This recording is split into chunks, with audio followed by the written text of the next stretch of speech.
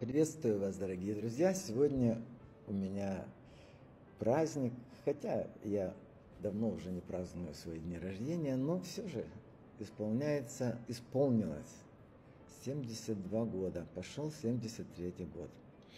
Хорошо помню, как всегда меня... Да, ну, для начала я надеюсь, что вы поблагодарили Творца за новый день вашей жизни. А если не успели это сделать, сделайте. Иначе вам незачем слушать то, что я сегодня расскажу.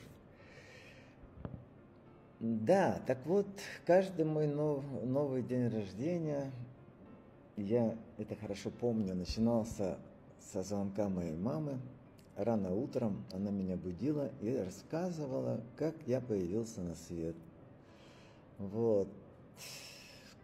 Как это было, как трогательно все происходило, как плакал мой отец, хотя он на войне видел столько смертей и никогда не проливал ни одной слезы. Ну вот для него это было, конечно, чудо, потому что уже почти 40 лет было, и я первый и единственный был его сын.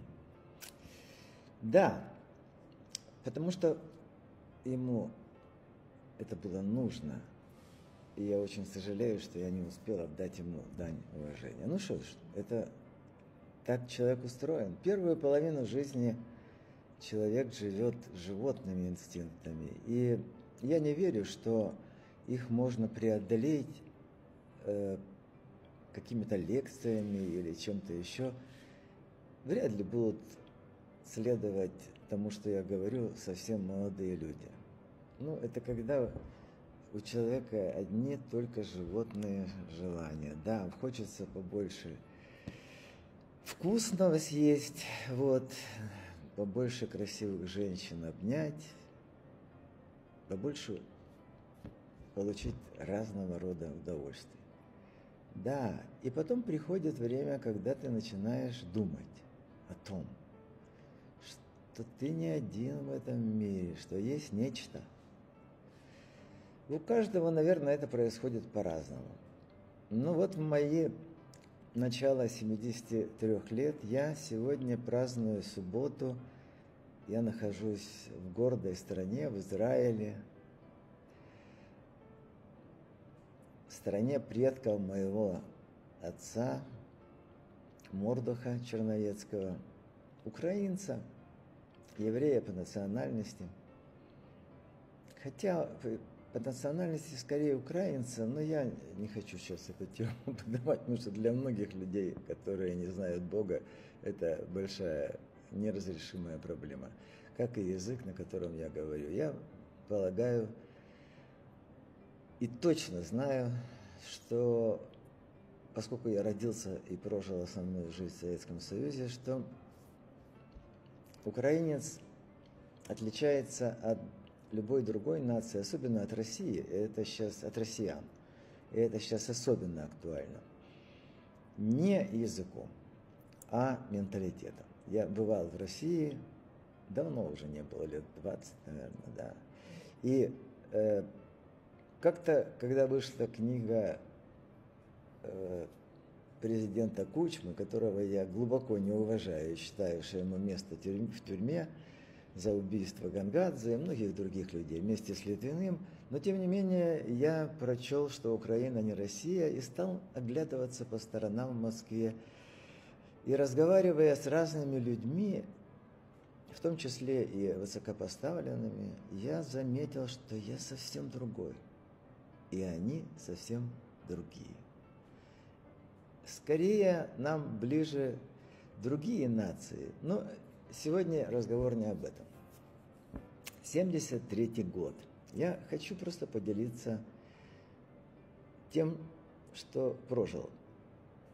Чуть-чуть, хотя бы для того, чтобы, если даже один человек воспримет то, что я сказал, может быть, с этого момента у него начнется новая жизнь.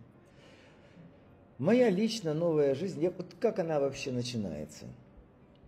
Ну, я сказал, что сначала человек живет животными всякими инстинктами. Ну и поскольку я человек уже очень живой и родился таким, И мне кажется, что мое рождение назло тем, кто преследовал мою маму за происхождение кулацкое, хотя она, мой дед говорил, не был кулаком, он был ну, предпринимателем, рыбу привозил вот, из других мест.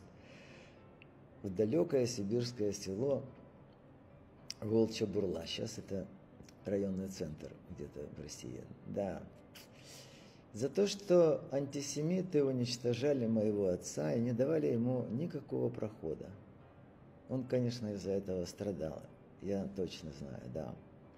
И вот их амбиции, которые не были реализованы, а они оба были очень энергичными людьми, что мне и передалось.